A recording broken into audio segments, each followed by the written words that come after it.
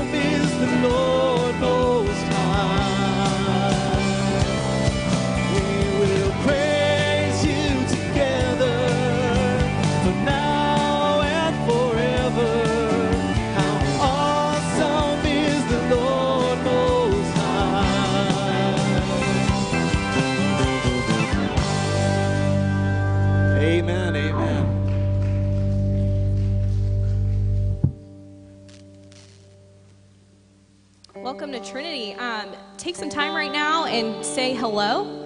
Welcome new faces. Maybe give a hug to people you already know. Go.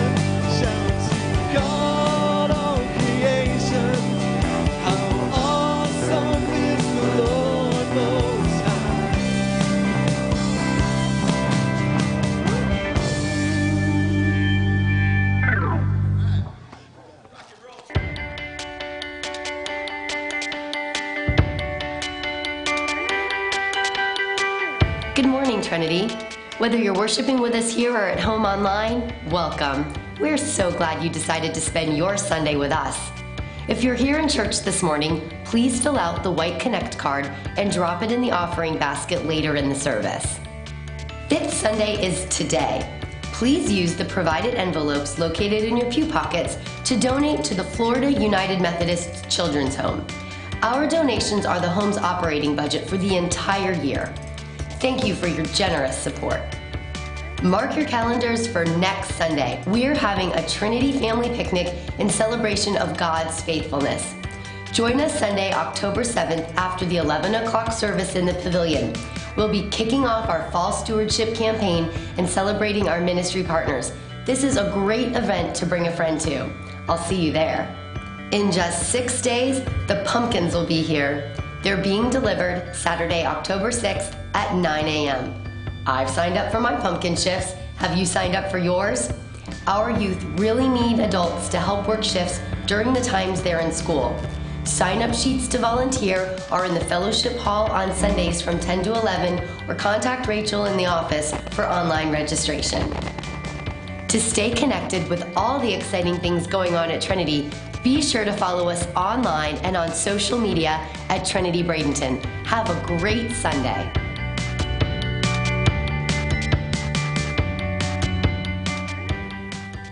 Well, welcome to Trinity. I'm Matt, I'm the pastor here, and we're glad that you're in worship with us today. Um, last week, when we were in worship together, I talked about the talent challenge uh, that we have each year. It's based on Jesus' parable of the talents, and he, in, in the story, he talked about how there was uh, this wealthy master who gave a ta- who gave a measure of talents to each of his servants, and they each invested it differently and got a different return. The point being that, uh, that we can trust God to do wonderful things when we take what He's given us and invest it the right way and bring the returns back to Him. And so our missions team likes every year to do something to challenge us to help support our missions. Uh, and that is we have $20 bills and envelopes for folks to take and invest in some way and then bring back for our missions team uh, after the first of the year. So uh, we have three of these envelopes left. And if you would like to, to claim one of these envelopes, just lift your hand. and we'll be happy to bring you an envelope. Um, you, don't have, you can make something, you can be a little creative engineer, and, and entrepreneurial. Uh, I heard of one person who, for last year's talent challenge, found a, a, refrigerator for 20 bucks. He cleaned it up and resold it for 80 to somebody else. So it can be something like that, or if you can make things or craft or bake something maybe and have a bake sale. We'll have a talent bazaar on the, the second weekend of November, uh, where all the different gifts that people make, all the different things that they're able to do will be available. So do your holiday shopping at the Talent Bazaar. But uh, so anybody want to claim one of these envelopes, lift your hand right now. Anne has them to bring to you. Don't be shy. We don't want these to go unclaimed because we feel like that would be burying our talent, and we don't want to do that. So anybody? All right, there we go, right here. Okay. Well, Anne is passing those out. Uh, the mention was made in the video announcements about the upcoming picnic next Sunday. I hope you'll come. It's going to be a wonderful time of celebration as we kick off our fall stewardship campaign, which is Earn, Save, Give Wesley's Simple Rules for Money. And uh, we'll be uh, looking at that for the entire month, and we're excited about this particular campaign and the ways that God's going to use it in our lives to teach us and guide us and how we have how we can have a relationship with money and, and possessions that honors and glorifies God. So um, at this celebration next Sunday, we're going to have a time of celebration of our mission partners. Our local mission partners and international mission partners are going to be there and briefly share about what the partnership with Trinity means to that ministry. And so we hope you'll be there to hear that because it's going to be a powerful time of sharing and testimony around Trinity's impact in our community, which is much larger, I think, than you realize, than even I realized um, so I hope you'll be there for that. And it's, uh, you, you can bring a side dish or a dessert, but the, the drinks and the hamburgers and hot dogs will be provided by the church. So come on out and join us next Sunday. And today is the fifth Sunday, which means, as she mentioned in the video, the offering for the Florida United Methodist Children's Home. Uh, Florida United Methodist Children's Home is the shared ministry of all United Methodists in the state of Florida. And they have a powerful ministry that's centered in Enterprise, Florida. They've just opened a youth ranch in Madison, Florida, and they oversee foster care in over six counties, and they're growing and trying to offer foster care and even more.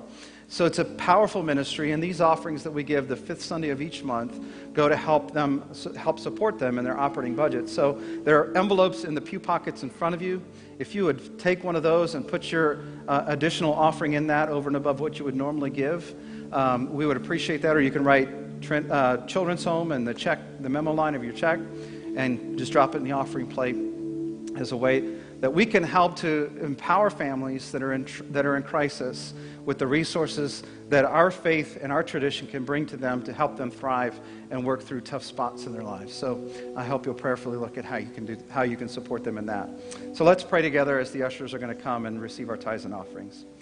Lord, thank you for the gifts you give us. You do not give them to us for us to hoard or uh, keep to ourselves, but you give them to us that we might give them away and be a blessing to others. And so thank you that you've generously blessed us beyond our deserving. And we bring these gifts to you, asking that you would, through the power of your Spirit, uh, multiply these and bless these gifts and use them for your glory, that uh, people will come to know the great love that you have for them in Jesus Christ, and lives will be changed because of the faithfulness, the obedience, and the generosity of your people. We pray in Jesus' name. Amen.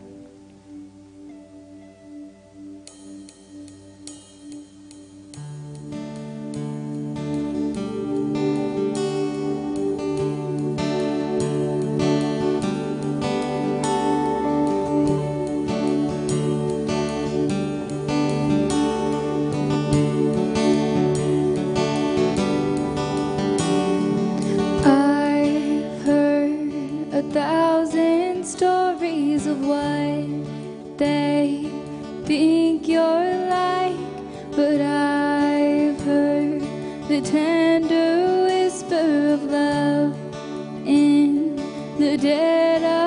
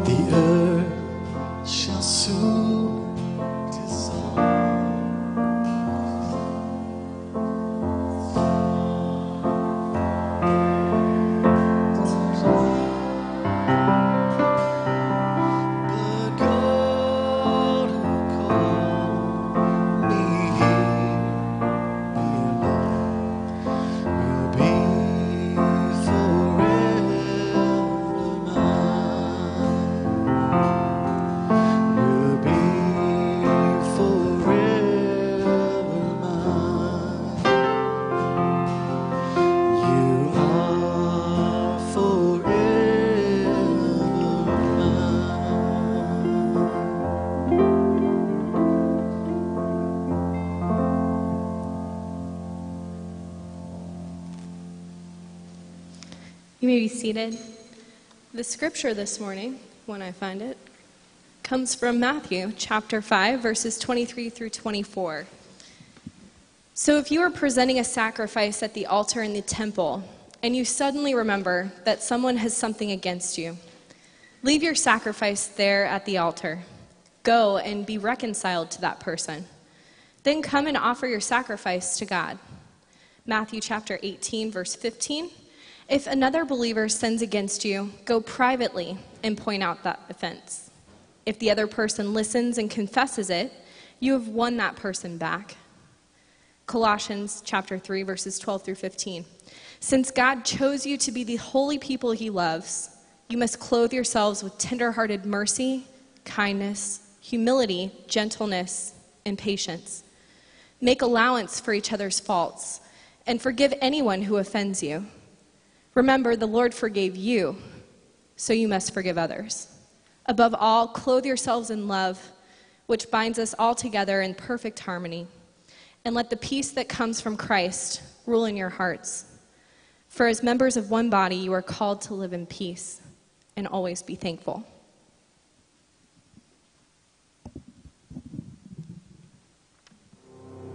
Show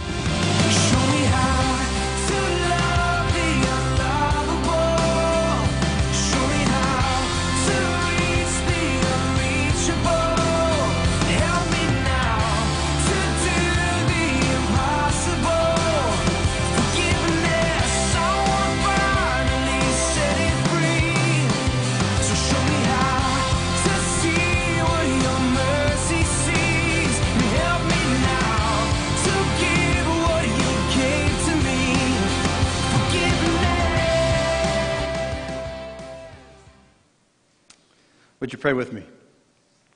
Lord, thank you for your presence that we've, that we felt already in our worship as we have sung your praises. Thank you for the privilege of gathering with your people in a space like this where we can worship you. And we thank you for your love, your grace, and your faithfulness to us. And Lord, I pray that now, as we've experienced your presence in worship, that your presence would continue in our worship as we worship you through your word and the proclamation of your word. And so, Lord, let us have open minds and hearts to receive what you would speak to us today with joy and gladness and respond with a firm resolve to faithful obedience. And Lord, I pray through the power of your Holy Spirit that you would transform the words that I speak to be just exactly what is needed in each person's life that they might hear your grace and your truth. And we pray this in Jesus' name. Amen. so I really hope next week that you will join us for the picnic. Um, it's going to be a great time of celebration, uh, and we're really excited. I mentioned earlier about this new uh, series that will be starting and the ways that God will use it to help us and inform us and shape us. Uh, but over the course of this series, uh, we've been talking about forgiveness. In the very first week, we, took, we talked about how the, the, the journey of forgiveness begins when we recognize our need and God's provision in this area of forgiveness. That we need God's forgiveness, and God generously and faithfully offers that forgiveness to us. That's the beginning of the journey, is with God's forgiveness. Then we talked then the next week about the need that we have to forgive ourselves. Because all of us, we know our faults, our failures, our foibles, the, the parts of our history that we'd rather uh, avoid and ignore or push back, things that have happened in our past where we have regretfully done things that have hurt or damaged someone else. And we need to forgive ourselves for those times in our lives. We talked also then about how to forgive others, people who have hurt us. Last week we talked about how to forgive our enemies, those who have hurt us the deepest. But today I'm going to talk about uh, something that oftentimes the church doesn't talk a whole lot about. We talk a lot about our journey of forgiveness, our need for it, and, the, and, and the, the need that we have to offer forgiveness to others. But what happens, what do we do when we're the one who has hurt someone else and needs forgiveness? Because we all know there are those spaces in our lives where that's happened. And so instead of just saying, well, go be reconciled to each other, I want us to spend a little time on some practical steps that we can take to help us find uh, freedom and to help others find freedom on this journey of forgiveness. So, the first thing that we do when we are the ones who need forgiveness from someone else is to admit the wrong. Say, well, I don't think there was a wrong. I, I didn't do anything wrong. How can I admit that? Well, here's the reality someone who has an offense against us, whether justified in our minds or not, has very real thoughts and feelings and emotions about whatever it is that happened. And we don't get to tell them how to feel. The only thing we can do is respond to them in a way that honors God. So, admitting the wrong is how we begin to take responsibility for the reality that we hurt another human being, whether or not we did it intentionally, or it seems justified in our eyes. Because you see, our attempts at self justification often put our actions in the most favorable light and their actions in the least favorable light. We write them off as being, well, they're just being touchy, overly sensitive, unreasonable, excessive, dramatic, or maybe even ridiculous. You know, they just they should suck it up and get over it. There was no offense there. I didn't mean an offense there, so they should just be able to get past this and move on, but they can't. And we can't move forward in our relationship until we seek out their forgiveness. You see, that's what Jesus was talking about in, in that text in Matthew. He said, When you go before the temple to offer an, a, a sacrifice and you hear that someone has something against you, drop what you're doing, go to that person, and seek to restore the relationship. You see, our attempts at self justification keep us from dealing with the reality of what the other person is feeling and the, reality, the, the fact that what they're feeling is just as real as what we might be feeling about the situation on the other side. Admitting the wrong is humbly recognizing that we are all flawed human beings who sometimes hurt others without intending to, or sometimes even without knowing that we have hurt them. You see, Jesus gives us this instruction in Matthew 5 23 and 24 because he's helping us to realize that the most important thing are the relationships that we have with each other. That those are something that we should value and we should work toward reconciling when there's damage to those relationships. When, uh, when my children were younger, they're um, all, all grown and almost all out of the house now. Praise God. And um, when they were growing up, we homeschooled our children for about seven years when they were young. And uh, when my oldest son got to be an eighth grader, I found myself getting home from work and having to play the role of the principal, where I was mediating between a student and a teacher that were having great difficulties in getting along with each other. Now, they would not admit it at the time. The reality is, the reason they were having these difficulties is because they're so very much alike. And my wife would come to me, Billy would come to me, and she would say, Well, you won't believe what he did today. This happened, and this happened, and this happened, and you need to go punish him for that. And I'd go and talk to him, and he'd go, You're not going to believe what mom did. She was this, and this, and this, and I'm just. And finally, I went to my wife and I said, Listen, honey, you can be right, or you can have a relationship with your son. But sometimes you can't have both.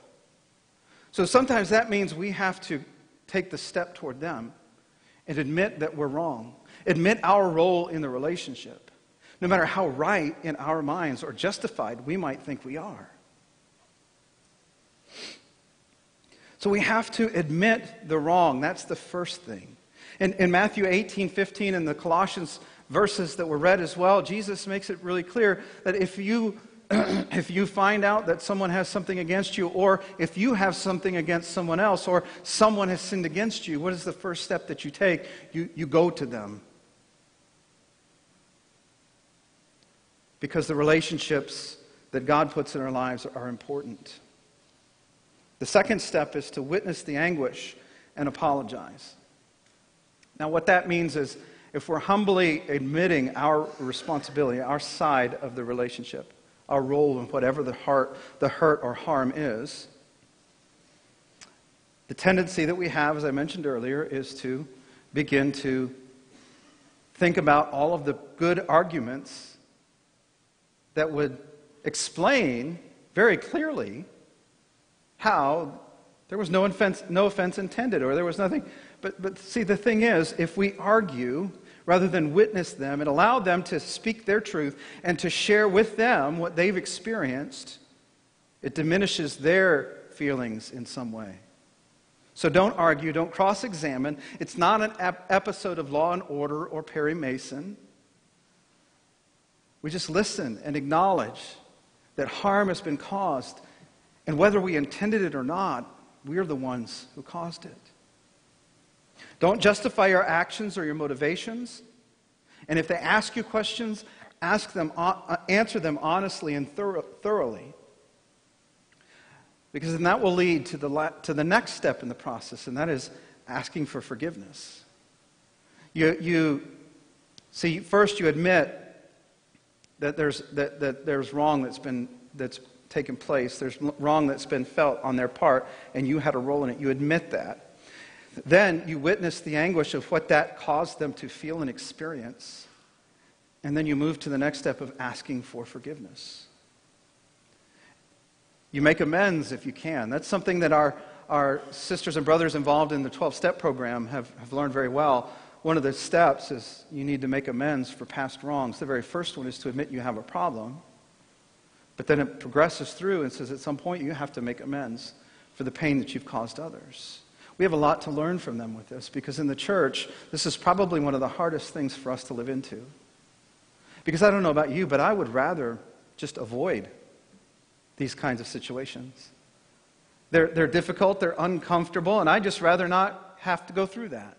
So it's easy for, easier for me to say, well, you know what? There was no offense intended, and I'm just going to pray that God, the Holy Spirit's going to speak to them and show them the error of their ways, and so I'm just not going to do anything about it. But what happens then is, what if God's intention is the way that they find healing and freedom is by us acknowledging our role in the situation? Because, see, I've seen time and again when we admit that we had a role to play and then it hurt, harmed someone else in some way, and we go to that person and we admit it and we ask, we, we tell them that we're sorry and we ask for their forgiveness, something special happens. God uses that in their life for them to recognize the same thing, where they, they're then able to, to, to see their role and admit and ask for forgiveness. But it has to start somewhere. Where you, uh, you say to yourself, well, you know, I, that's just not justified, or this is that and the other. But you know what? That's not the point. The point is, we know someone has something against us and they're hurting because of us in some way, justified or unjustified in our minds. And God calls us to go to them and begin the process, begin the journey of attempting to make the relationship right again. So we make amends if we can. What you do is you ask the person that, that's been hurt, what do they need to be made whole? Now that depends on what we've done, the nature of the offense, in order to forgive. Sometimes it's tangible, depending on the nature of the offense. If you have taken something from them, you offer them some sort of reparations. You, if, if you've done something physically, you, you say, you know, you go to counseling or you pay some sort of a penalty of some, of some kind. Maybe, though, it's not tangible. Maybe it's symbolic. Maybe the breach has been a breach of confidence and trust in a relationship. And so the, the way that you make amends is to seek uh, the, the help of a skillful counselor and helping you to be freed from that pattern that caused it, that would help you to assure them that this pattern is not going to repeat itself, because that's really what they're wanting to see they're wanting to know and be reassured that the offense won't happen again. And making amends, though, is also how you heal yourself. It starts by humbling ourselves, but it moves us through the journey to see the anguish of what has happened to them, to ask for forgiveness, and to try to make the relationship right again. And here's what happens in the midst of all that is we find that, our, that we are healed through that whole process, whether or not the relationship is able to be restored. Because we recognize that the answer might be no if they're not at a place where they're able to forgive. But we've started the process, we've taken those steps. And God can use our faithfulness to help them eventually find their place of release and freedom from the bondage of unforgiveness and bitterness. And then the last step in the process is renewing or releasing the relationship. This is what we talked about last week when we were talking about the fourfold path that Bishop Tutu um, used in South Africa after apartheid was overthrown, and how they brought uh, uh, uh, this Truth and Reconciliation Commission together to do the work of healing and reconciliation within this country that had been torn so deeply by uh, the violence of apartheid. And um, renewing or releasing the relationship is an important part of the process because there are times when renewing the relationship is not possible. Sometimes renewing the relationship would put us in a dangerous or toxic environment that we need to protect ourselves from. There are times when we don't know the person that harmed us, we just know we've been harmed. There are times when the person who has harmed us is no longer here. They've died, and they're not someone that you carry in your heart. So, releasing those relationships are important for us. It's how we free ourselves from victimhood and trauma. Releasing is refusing to let an experience or person occupy space in your head any longer. And each time the memory of whatever the hurt or offense is, we can remind ourselves that we have released that relationship. We have written a new story. The other part of it, though, is to renew the relationship. But renewing the relationship is not restoring the relationship completely. Because it's, it's, you see, it's not going back to the time where before the offense happened and just pretending that the offense never happened. We might say that that's what we've done, but here's the reality we can't forget that the offense happened because we all have memories. See, and every time that memory surfaces of whatever that event was, it's going to be difficult for us unless and until we get to the place of trying to renew that relationship and write a whole new story. Because, see, that's what renewing the relationship does. Renewing the relationship is creating a new relationship out of our suffering, one that's often stronger for what we have experienced together. Now, I have, um, my brother is, is a power lifter. He's, he's lifted weights his whole life. He holds several world records and national records uh, for his uh, weight class and, and age groups through, through the years. And one of the things, and we've talked about, you know, fitness. You, you wouldn't know it by looking at me, but we've talked a lot about fitness, and, and you know, we've worked out together periodically through the years. And, and one of the things that he told, taught me that any personal trainer or anybody who knows anatomy and physiology will tell you is, and that is that when you lift weights, you actually tear the muscles. And that's what causes the pain after a workout. And then when the muscle heals, it heals stronger. See, that's what this can do for us. Is it can make our relationships so much stronger because of what we've experienced together. Our renewed relationships are often deeper because we have faced the truth. We have recognized our common humanity. And we are now telling a new story of a relationship that's been transformed. It might still be stuck in your mind. Well, Pastor, this person's been offended by something I've done, but I really didn't do anything wrong. Not that you know of, but apparently some wrong has been done. Here's the thing Jesus came and he took on himself a burden that was not his, our burden, so that we could find freedom and release and new life in Christ, so that we could be reconciled with God. And when we do these small things, when we take these steps, we are stepping into the flow of God's Spirit and living more fully into the image of Jesus by being willing to take upon ourselves a burden we may not think is ours to bear. But out of love and compassion for the other, we're willing to take it on so that healing can happen. Because that's what Jesus did for us. And that's what Jesus calls us to do for others.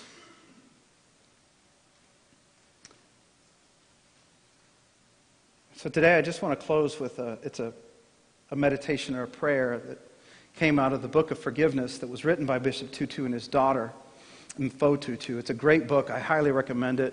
Easy to read. It's a paperback book. It's not a tough, you know, thick tome. It's, it's a very approachable book that has a lot of practical advice in it. In that book, though, when he's talking about this, uh, this issue of when we need forgiveness, when we're the one who has caused the offense to someone else, they end that chapter with this meditation. It says, I am sorry. How many deep, how many deaths have those words died? They were stuck in my throat. They melted on my tongue. They suffocated before they met the air. I am sorry. The words crouch on my heart and they weigh a ton. Could I not just get on with it? Say I'm sorry and be done. I am sorry and I am not done. I am sorry for the hurt that I have caused, for the doubts I inspired, for the sadness you held, for the anger, despair, suffering, and grief that you endured. I am sorry. There is no currency with which I can repay you for your tears, but I can make amends. And I do mean it when I say, I am sorry. You see, folks, we live in a broken world. We can't escape its influence on us. When we begin to follow Jesus, we do so imperfectly. And along the journey, sometimes we, we hurt other people. We bump into each other. And those edges sometimes are sharp, and it really hurts. But we're still called to be forgiven forgivers, just as Paul told us in, the, in that Colossians text. Make allowance for each other's faults. Forgive anyone who offends you. Remember, the Lord forgave you, so you must forgive others. That's what we're called to live into. But we can't do this on our own power and with our own resources. It's impossible. God never intended it to be that way. God has given us everything we need by offering us His Holy Spirit to, to dwell in us and give us the love, the grace, and the strength, the courage that we lack on our own to be able to enter into this, this tough, uncomfortable, messy space. Because life is messy and relationships can get messy. But in Christ, we can also find hope and healing and a better way to be able to live together in relationship, in community, by following his example, by leaning into these hard places, and allowing God to work through us to help free others and to help free ourselves. Because we are forgiven forgivers. And that's what we're called to become. Would you pray with me? Lord, I thank you for your love and grace that's been poured out upon us. You have blessed us far beyond our deserving. Help us to be a people that are characterized by this kind of humility and grace, that we are willing to step in the direction of being in relationship with others, even when it is hard, even when there has been deep hurt. Help us to trust in your grace and your love and your power to be at work in our lives and the lives of others, so that these might be a great witness. They would become a powerful force for others to see that you are the God who reconciles humanity to, to yourself, but you also reconcile us to each other. Through the power of your healing grace, you are able to make all things new. So show us those relationships in our own lives where we need to go and make something right. And Lord, give us the grace and the courage to walk in, in the power of your Spirit into these messy, uncomfortable places so that in the end we might see a glimpse of your love and your grace reflected in how these relationships can be renewed. We thank you for being so gracious with us. Now, help us to offer that same grace to others. We pray in Jesus' name. Amen.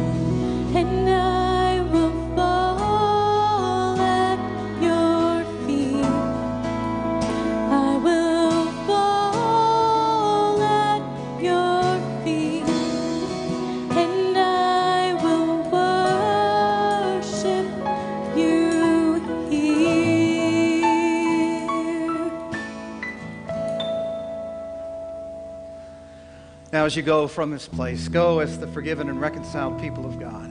The blessing of God Almighty, Father, Son, and Holy Spirit rest upon you as you go forth in His grace and peace to serve Him in all that you do. Amen.